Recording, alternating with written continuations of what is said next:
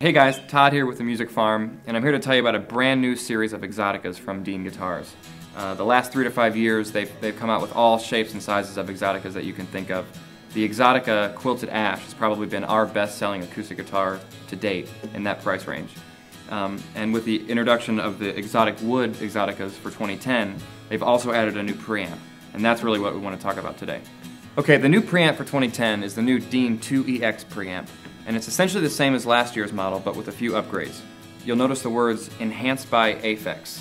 And essentially, Aphex is a company that makes signal processors, uh, commonly used in pro audio and studio applications. Um, well, they've taken their two most popular processors and kind of shoved them into this preamp. The first processor they built into this is called the Aural Exciter, and essentially what that does is it takes all of the good frequencies, the ones that are sweet to the ear, and kind of brings them up, rounds them off, and takes all the harsh frequencies that are, not as pleasing to listen to and kind of buries them and uh, find, finds a spot for them underneath. So essentially it takes your, your signal and your tone and, uh, and just kind of sweetens it up a little bit. And, and what better to do that with an acoustic guitar because there's so many frequencies happening when you're playing, especially open chords. There's a lot of low notes that you may not be hearing. Um, so what they've done to address that is used some of the processing from what they call the big bottom circuitry.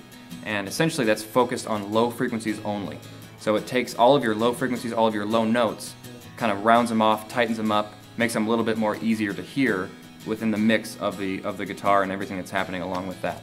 So they've taken those two things, put them in the flip of a switch, and what we've done is we've taken a few examples of different playing styles and we've, we've played you know, a couple bars with it off and we'll switch it on and let you hear exactly how much it's actually affecting the signal of this acoustic guitar.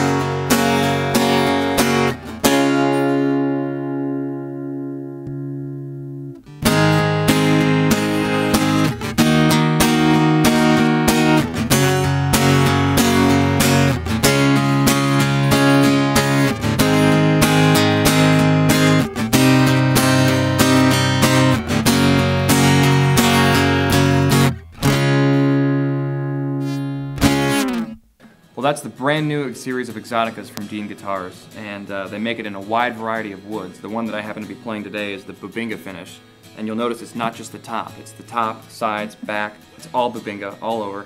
Um, they also make it in Cocobolo, they make it in Koa, they make it in Flame Maple, anything you can think of. So, and the price points on these things are unheard of, so you gotta check them out.